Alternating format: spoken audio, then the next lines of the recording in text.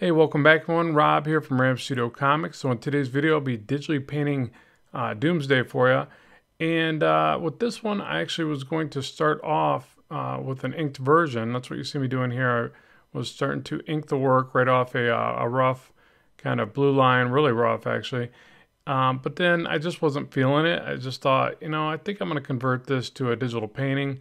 I think even in the very beginning, I was on the fence a little bit. And that's just funny about stuff like that. It's like if you're not exactly sure going into the project, uh, I guess anything can happen, but it, it can really hinder you in a lot of ways. And, and I definitely felt that in this one. Like, like no, I, I don't know why I'm trying to ink this because I'm not really feeling it from the start.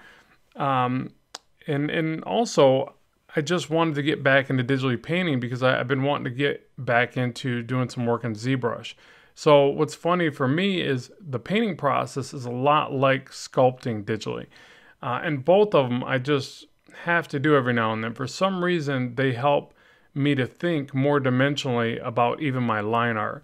Uh, so you're always going to talk, uh, hear me talk about that. That I, I'm a big fan of painting and 3D sculpting uh, mainly just to help my art, but but not even just that. I just love doing it. Like it's something about modeling with three dimensional clay and even digitally painting. It's like a sculpting process. Like I, I very much think that you need to picture that you're working with uh, a ball of clay on the screen there, and you're sculpting it. You're chiseling out forms. You're maneuvering things around and, and adding and subtracting and all that almost the way that you would if you had a piece of clay right in front of you and you were trying to get it to look more dimensional. If you can start thinking that way, the painting process becomes a lot easier. And then ultimately, I feel like that's what you even have to do with drawing. Obviously, you can't just, uh, you know, I'm going to draw whatever pops in my melon. It's got to be a little bit more like you got you got to really be thinking dimensionally in that in that uh, scene. Uh, it's not the easiest thing to do. What's funny about line art is it's real easy to misconstrue uh, the forms. But then with painting, it becomes a little bit easier, I, I think personally, to understand the forms because you have light, shadow, texture, all these things. And each time you add something, it becomes easier to spot, you know, something that was wrong. I, I, again, that's just my opinion. You know, we all create very differently, so you may or may not resonate with those thoughts. But, um, but yeah, you'll always see me revisit digital painting. It just it's something about it is not only just uh, fun, it's it's very much part of the process for me to explore art and to grow to that next level. And then also with digital painting, uh, it's just faster. Like even though I'm out of practice here, this piece took uh, just under eight hours, which really is ridiculously long because I am out of practice. Uh, there's a few digital paintings that I've done that were just as detailed, if not more detailed, and I've done them in two, maybe three hours. And when you start to compare that, I don't know, you know, what you're at for your level of work, but me personally, uh, there's very few comic illustrations that I can bring to full color in anywhere near that amount of time. Uh, I don't know if it's just I'm a, a bit slower at my comic illustrative process, uh, but you know, things that are two to three hours, I'm generally done with the pencils or maybe, you know, something like that. Uh, but most of them, by the time I get to full colors after inks and color, it's a lot longer of a process. Uh, so that's one of the things I really enjoy about digital painting, I guess, is almost the, um, you know, the immediate gratification in, in a lot of ways. Uh, but again, this one took eight hours. I think too because I was uh, jumping around a bit. You can see I wasn't entirely, uh, for one, I wasn't entirely doing sweeping passes over the whole thing. Okay, so I think that's something that's important to at least experiment with.